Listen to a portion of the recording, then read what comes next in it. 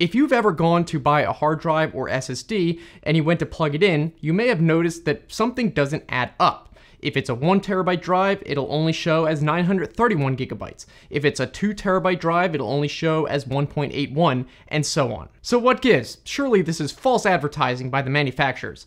But actually, it's not. They are telling the truth. The discrepancy comes from the units being used. There are some other possible reasons I'll mention at the end of the video, but those aren't the main focus of this video. So first, I'll explain why this discrepancy happens, and then we can get into the philosophical discussion about who's right and who's wrong, because it depends on who you ask. So let's take a one terabyte drive, for example. One terabyte is equal to 1,000 gigabytes. Now stop, because I already see some of you rushing to the comments to say, it's not a thousand. Hold on, I'm going to address that. That's literally the whole point of this video. Now, everyone has heard of kilobytes, megabytes, gigabytes, terabytes, with the abbreviations KB, MB, and so on.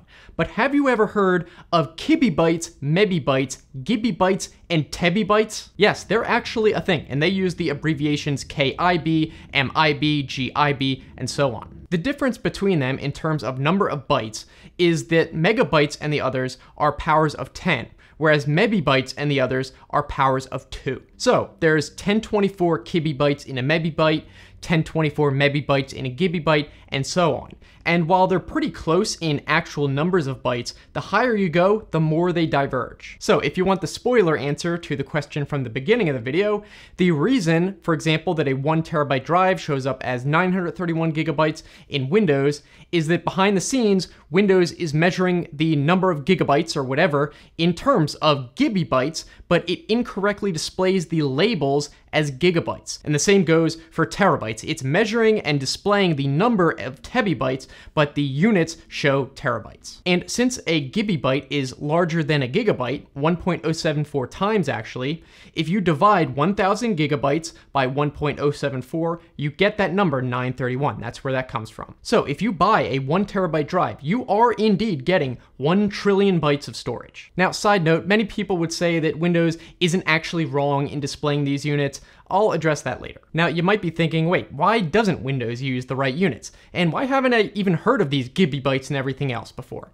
Well, since the early days of computers, because computers use binary, it's easier to actually deal with numbers in powers of 2. And you probably recognize these numbers. They come up a lot when dealing with computers. And when they got to 1024 bytes, long story short, people decided, eh, that's close enough to 1000, we'll just call it a kilobyte. And since every 10 powers of 2 is close to its corresponding decimal number anyway, the other prefixes could just be used too. Except this predictably became confusing, with people using the terms megabytes and gigabytes and everything else for both the binary meaning and the decimal meaning, meaning binary with the powers of 2 meaning and decimal as the power of 10 meaning, but still calling them the same thing, gigabytes and megabytes and whatever. So the IEC, a standards organization, came up with those new prefixes to be used for the binary based units instead, so you could discriminate between them. And they came up with the names by just taking the bi part of binary and sticking that on and using that. The problem is, those units never really caught on in the mainstream.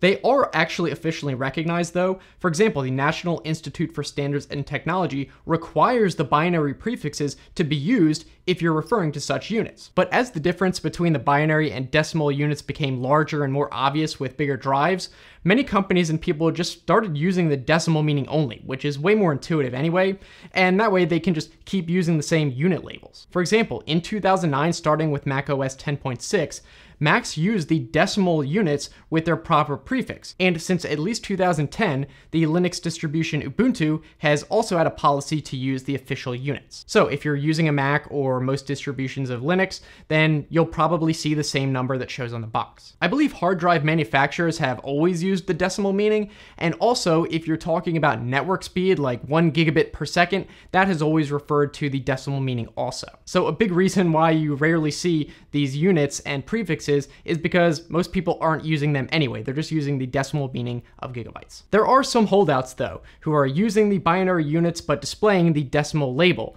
namely Microsoft Windows and RAM manufacturers as big ones. At least in Windows, if you do go to the properties window of a directory or file, it will show you the exact number of bytes, but for most people, I think that is just going to add to the confusion. So why does Windows do this? Well, if you go back to 2009, the reasoning was that nobody else was. So, okay, fair enough. At the time, you could make the consistency argument. I mean, that blog post was from before macOS had even switched over later that year. But why Windows still does this really confuses me. And I'm not even saying that I expect them to start using the binary labels. That would just confuse virtually everyone. Rather, behind the scenes, they could start just showing and measuring in the decimal units and keep the same label. And honestly, no one would even notice or care. There's not anyone out there who would say, wait a minute, yesterday this Microsoft Word document was 1.28 megabytes and now it's 1.34. What gives? Surely a lot of people would notice that their hard drive capacity has changed, but it would look like their hard drive got bigger, so I doubt they're gonna be mad about it. So if Microsoft is maybe worried that a change after this long would be confusing to people, well, I would argue there's nothing confusing about plugging in a drive and seeing the same number that's listed on the box that you're expecting. I mean, I remember even ages ago buying a 64 megabyte memory card for the Xbox 360 and being pissed when I plugged it in and saw there was only 61, seemingly, because back then, every megabyte mattered. And even if there's some compatibility issue behind the scenes with how settings or Windows what you could do is just change how it's displayed in Windows Explorer only, which is what would matter for 99% of people. And then just keep using the binary units for any calculations behind the scenes, and you could even switch those over to use the binary labels. Now, I mentioned RAM manufacturers before, and they also use capacities in powers of two and display the decimal unit labels. Apparently, they do have a legitimate reason for using the binary units, at least because of the way logical and physical addressing works in memory, but I still think they should use the right labels and call them the right thing. Finally, at the beginning, I did mention that there are some other possible causes for why a drive might show a lower storage capacity. One of them being a hidden partition. A lot of pre-built computers will come with a recovery partition